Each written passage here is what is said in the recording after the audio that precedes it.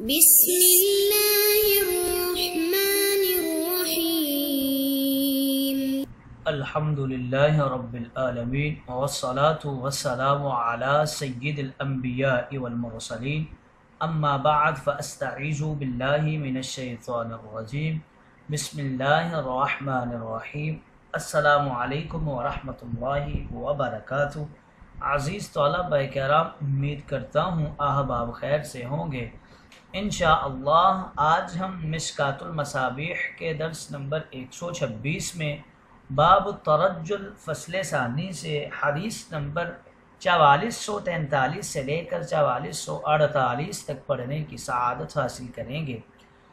آج کے درس میں ان احادیث مقدسہ کا ترجمہ ہوگا اور ساتھ ساتھ ان احادیث مبارکہ کی توضیح و تشریح کرنے کی سعادت حاصل کریں گے۔ تو آئیے طلبہ کرام بلا تاخیر بڑھتے ہیں اپنے آج کے درس کی طرف۔ بسم اللہ الرحمن الرحیم۔ حضرت ابو حریرہ رضی اللہ تعالی عنہ راوی ہیں۔ وعن ابی حریرہ قال قال رسول اللہ صلی اللہ علیہ وسلم، طیب الرجال ما ظہر ریحه وخافی لونه وطیب النساء ما ظہر لونه وخافی ریحه رواہ الترمذی والنسائی حضرت ابو حریرہ کہتے ہیں، نبی کریم نے ارشاد فرمایا، مردوں کی خوشبو وہ ہے جس کی بو تو ظاہر ہو لیکن اس کا رنگ ظاہر نہ ہو، جیسے مشک و عنبر اور عطر وغیرہ۔ اور عورتوں کی خوشبو وہ ہے جس کا رنگ تو ظاہر ہو لیکن اس کی بو نہ پھیلے، جیسے مہندی اور زعفران وغیرہ۔ یہ ترمزی اور نسائی شریف کی روایت ہے۔ گویا اس حدیث مقدسہ میں مردوں اور عورتوں کے عطریات میں فرق کو ذکر کیا گیا ہے۔ عورت چونکہ باپردہ چیز ہے تو اس کا تقاضا یہ ہے کہ اس کے جسم کی خوشبو کسی اجنبی مرد پر نہ پڑے۔ البتہ گھر کی زینت عورت کے لیے ضروری ہے۔ اس لیے عورت کی خوشبو میں زینت زیادہ ہو، خوشبو کم ہو۔ اور مرد کا پردہ نہیں ہوتا اس لیے خوشبو تیز لگائے، لیکن زبائش و زینت مرد کی شان مردانگی کے خلاف ہے، تو اس کے عطر میں خوشبو تیز ہو اور زینت کم ہونی چاہیے۔ اگلی حدیث مقدسہ حضرت انس رضی اللہ تعالی عنہ راوی ہیں۔ وعن انس قال كانت لرسول الله صلى الله عليه وسلم سكة يتطيب منها رواه ابو داود۔ حضرت انس کہتے ہیں، رسول کریم کے پاس سکہ تھی۔ ایک مرکب خوشبو کا نام ہے، آپ اس میں سے خوشبو لگاتے تھے۔ یہ ابو داود کی روایت ہے۔ سکہ یہ سین پر پیش ہے، کاف پر شد کے ساتھ ساتھ زبر ہے اور آخر میں گول تا ہے۔ اکثر شارحین نے سکہ کا ترجمہ اور مفہوم اس طرح بیان کیا ہے۔ کہ یہ ایک مخلوط مرکب عطر ہے، لیکن یہ بات دل کو نہیں لگتی، کیونکہ یا منہا کا لفظ اس کے ساتھ پورا موافق نہیں ہے۔ مرکات میں ملا علی کاری نے کئی اقوال کے بعد فرمایا، وقیل الظاہر ان المراد بها ظرف فيها طیب علامہ جزری فرماتے ہیں، وَيَتَحَمَّلُ أَن يَكُونَ بِعَاءٌ۔ علامہ میرک فرماتے ہیں کہ یہ برتن ہو سکتا ہے۔ بہرحال عطر کی ڈبیا لینا بہت ہی اچھا ہے۔ پھر اس کے اندر عطر مخلوق ہو یا غیر مخلوط ہو تو پھر کوئی فرق نہیں پڑتا۔ گویا سکا سے اکثر شارحین کرام نے عطر کی ڈبیا مراد لیا ہے۔ اگلی حدیث مقدسہ کی طرف بڑھتے ہیں۔ حضرت انس رضی اللہ تعالی عنہ ہی اس حدیث مقدسہ کے راوی ہیں۔ وعنہ قال کان رسول اللہ صلی اللہ علیہ وسلم یکثر دہن رأسه وتسریح لحیته ویکثر الکناع کأن ثوبه ثوب زیات رواہ فی شرح السنہ حضرت انس کہتے ہیں، رسول کریم اپنے سر مبارک میں کثرت کے ساتھ تیل استعمال کرتے تھے۔ کثرت سے داڑھی میں کنگھی کرتے تھے اور اکثر سر مبارک پر ایک کپڑا رکھتے تھے جو ایسا نظر آتا تھا جیسے تیلی کا کپڑا ہو۔ یہ شرح السنہ کی روایت ہے۔ اس کی توضیح کے اندر شارحین کرام کچھ یوں رقم تراز ہیں۔ یو کثیرو دہنا یہاں یہ سوال پیدا ہوتا ہے کہ تیل تو حضور علیہ صلاحت وسلام زیادہ استعمال فرماتے تھے۔ لیکن کثرت سے کنگھی سے تو آپ نے منع فرمایا ہے، یہاں کثرت کا ذکر کیوں کیا گیا؟ اس کا جواب یہ دیتے ہیں کہ جس کثرت سے آپ نے منع فرمایا وہ اپنی جگہ پر صحیح ہے، یہاں کثرت کا مطلب یہ ہے کہ تاجدار انبیاء فی نفس ہی کنگھی زیادہ استعمال فرماتے تھے۔ یہ مطلب نہیں کہ ممنوعہ حد تک کنگھی کا استعمال فرماتے تھے۔ سر میں کنگھی کے لیے ترجل اور داڑھی میں کنگھی کے لیے تصریح کا لفظ استعمال ہوتا ہے۔ یکسر القناع پگڑی وغیرہ کے نیچے جس نرم کپڑے کو استعمال کیا جاتا ہے، اس کو کنا کہتے ہیں۔ حضور علیہ السلاۃ وسلم چونکہ سر میں تیل زیادہ استعمال فرماتے تھے، اس لیے تیل لگانے کے بعد یہ نرم کپڑا پگڑی کے نیچے رکھتے تھے۔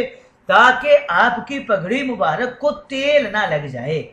کا ان سو باہو سو باہو کی جو ضمیر ہے، یہ اسی کنا کے صوب کی طرف راجے ہے۔ یعنی جس نرم کپڑے کو تاجدار انبیاء پگڑی کے نیچے استعمال فرماتے تھے، وہ کپڑا تیل میں اس طرح بیگ جاتا تھا اور اس طرح چکنا رہتا تھا، جس طرح تیل بیچنے والے آدمی کا کپڑا ہوتا ہے۔ تیل بیچنے والے کے بدن کے کپڑے بھی چکنے ہو جاتے ہیں اور خاص کر اس کے ہاتھ میں ایک کپڑا ہوتا ہے جس سے وہ ہاتھ صاف کرتا ہے، وہ تیل میں تر بتر رہتا ہے۔ بہرحال یہ زمین تاجدار انبیاء کے جسم مبارک پر پہنے ہوئے کپڑوں کی طرف نہیں لوٹتی، کیونکہ سیدنا دو عالم نظافت میں انزف الناس تھے۔ ملا علی کاری نے کچھ روایات بھی نقل فرمائی ہیں جن میں وضاحت اور تصریح کے ساتھ یہ ضمیر اسی کناع کی طرف لوٹائی گئی ہے۔ گویا اس حدیث مبارکہ میں اس بات کی طرف اشارہ ہے کہ تاجدار انبیاء سر کے بالوں میں کثرت سے تیل استعمال فرمایا کرتے تھے۔ اگلی حدیث مقدسہ حضرت ام ہانی رضی اللہ تعالی عنہ راویہ ہے۔ قالت قدم رسول اللہ صلی اللہ علیہ وسلم علینا بمکہ قدمتا ولہو اربع غذائر رواہ احمد و ابو داود اور ترمزی و ابن ماجہ حضرت ام ہانی رضی اللہ تعالی عنہا کہتی ہیں کہ ایک مرتبہ فتح مکہ کے دن اور رسول کریم ہمارے ہاں تشریف لائے، تو اس وقت تاجدار انبیاء کے چار گھیسو گودے ہوئے تھے۔ یعنی دو دائیں طرف تھے اور دو بائیں طرف تھے۔ یہ احمد، ابو داود ترمزی اور ابن ماجہ کی روایت ہے۔ قادمہ یہ قادمہ کے لیے مفعول مطلق ہے۔ کاف پر زبر ہے، دال ساکن ہے، میم پر زبر ہے۔ ای مرتم واحدہ۔ یعنی اس آمد سے فتح مکہ کی آمد مراد ہے۔ تاجدار انبیاء چار بار مکہ تشریف لائے، عمرہ قضا میں، پھر فتح مکہ کے دن۔ پھر طائف کے پاس جارانہ سے آئے اور آخری بار حجت الوداع میں آئے۔ غدائر، یہ غدیرہ کی جمع ہے۔ اصل میں مینڈی کو کہتے ہیں، لیکن وہ مراد نہیں، بلکہ مطلب یہ ہے کہ حفاظت کے پیش نظر آپ کے بال چار حصوں میں بٹے ہوئے تھے یعنی دو دائیں طرف اور دو بائیں طرف۔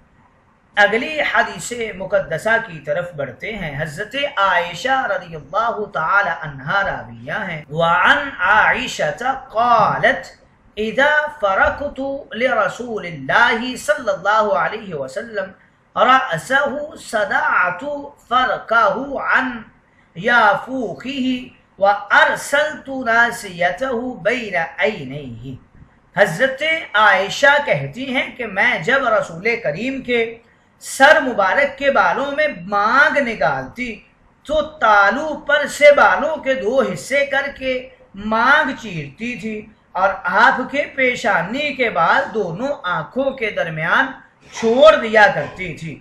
یہ ابو داود کی روایت ہے۔ گویا اس حدیث مقدسہ میں تاجدار انبیاء کی مانگ مبارک کا ذکر کیا گیا ہے۔ فرق تو یہ فرق مانگ کو کہتے ہیں اور فرق تو مانگ نکالنے کو کہا گیا ہے۔ رأسہو یعنی سر کے بالوں میں مانگ نکالتی تھی۔ صدا تو صدا، یہ چیرنے کے معنی میں ہے۔ مانگ نکالنے کے لیے بالوں کو دو حصوں میں تقسیم کرنا مراد ہے۔ یا فوخی ہی یا فوخ یہ سر کے اس درمیانی حصے کو کہتے ہیں۔ جہاں تالو ہوتا ہے، بچپن میں یہ جگہ پھڑکتی رہتی ہے۔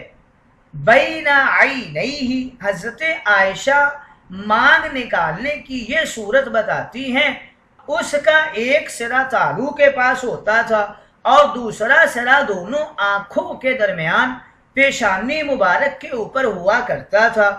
یہ تو مانگ کی صورت ہو گئی۔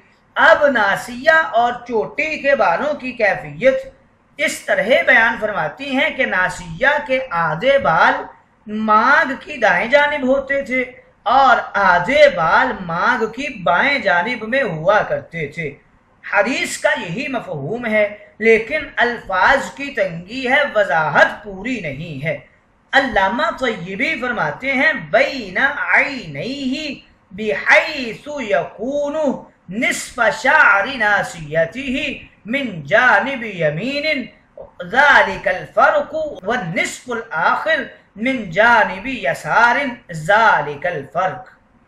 حضرت علامہ طیبی کچھ یوں ذکر کرتے ہیں کہ جو پیشانی کے آدھے بال ہوا کرتے تھے، وہ دائیں جانب مانگ کے ہوا کرتے تھے اور آدھے بال مانگ سے بائیں جانب ہوا کرتے تھے۔